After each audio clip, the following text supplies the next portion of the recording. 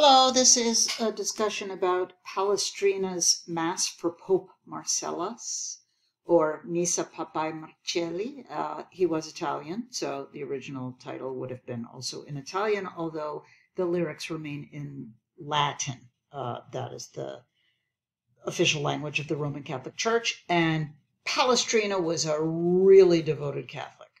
Uh, it's it, he came along at a time period, his, his, his real importance has to do with the fact that he didn't do anything so revolutionary. Again, uh, Renaissance music, people are starting to invent little ideas. They're coming up with new clarity. They're coming up with new things that are so novel in the history of the development of music that they stick, even though I think for contemporary ears, they're just not that big a deal. So don't think that you're going to hear anything super, super revolutionary in this clip.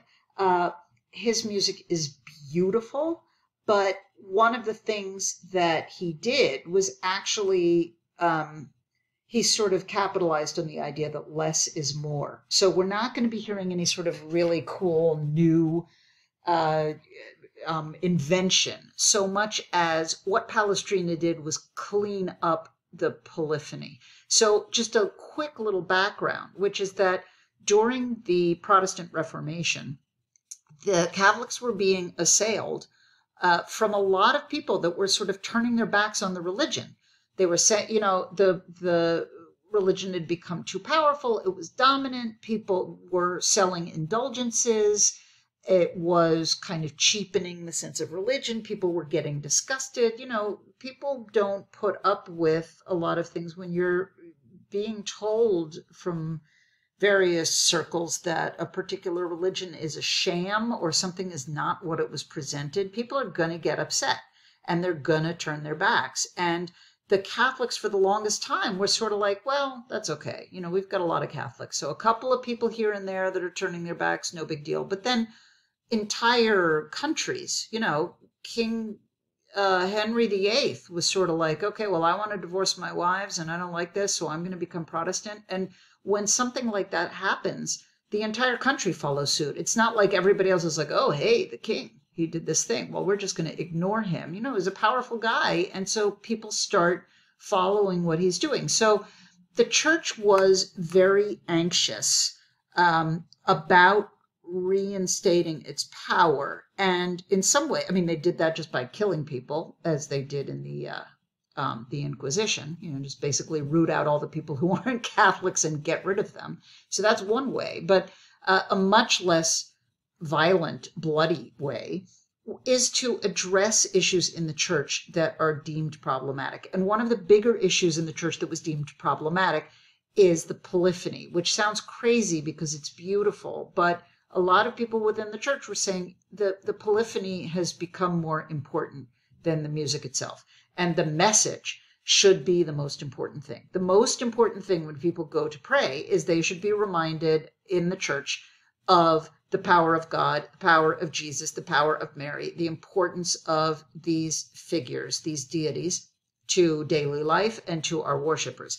And the polyphony is distracting people from that it's it's making sort of a secular basis for what should be reverent and holy. And really, what uh, Palestrina did was prove that you could have polyphony, but you could have it be sort of straightforward and simplistic, and that that could work. And he managed to convince the church, and he was heralded. He's often referred to as the the savior of church music, the savior of Roman Catholic church music.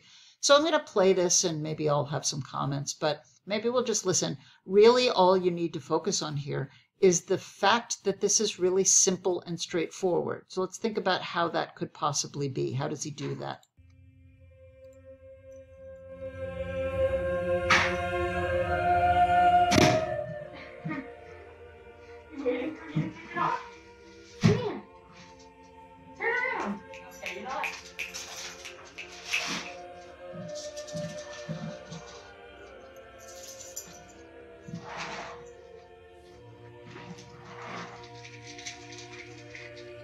Now, some of it is just in the repetition of the words, right? So we're seeing this is a section of the mass. This is this is one section of a of a much larger mass. This is conveniently, as you can see by the lyrics, the Kyrie eleison, the Kyrie section of the mass. I believe it's the first section of the mass. But again, as a non-Catholic, I can't speak to that. But the segments of the mass are presented every single week in a particular order.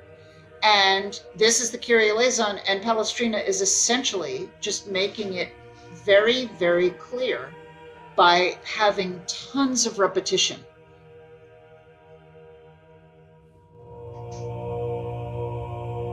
Okay, very good. That was the Kyrie eleison. We've spent like a whole, what, couple of minutes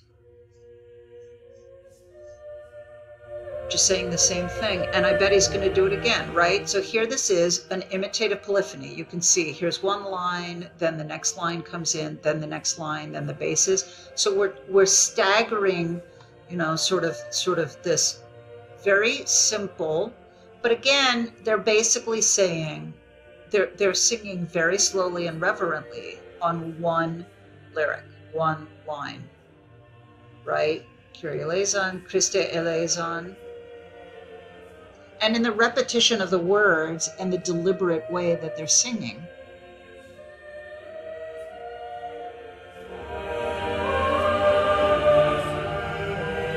They're getting the point across. He's retaining the polyphony.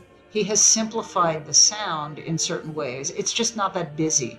There's no imitative, uh, sorry, this is all imitative. There's no non imitative polyphony non-imitative polyphony gets very very busy. If everybody's singing at once and they're singing three different melodies with three different completely different lyrics you're good or even with the same lyrics but the melodies are all over the place you're going to have a lot of trouble following along.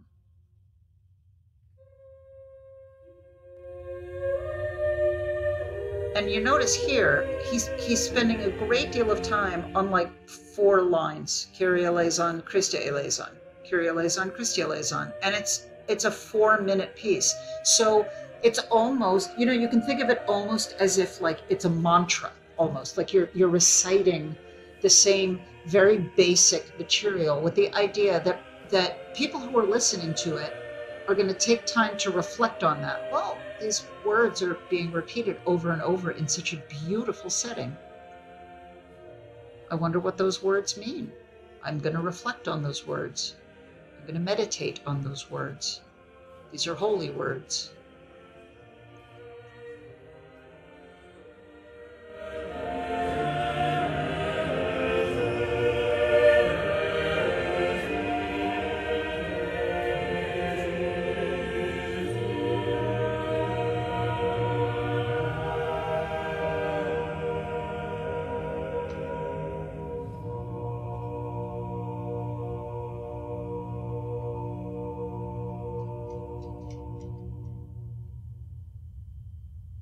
There you go. That's the whole thing. That's all that Palestrina wanted to do. And Palestrina was beloved and accepted for that. And his music still resonates and it's still performed in Catholic churches. And polyphony was saved.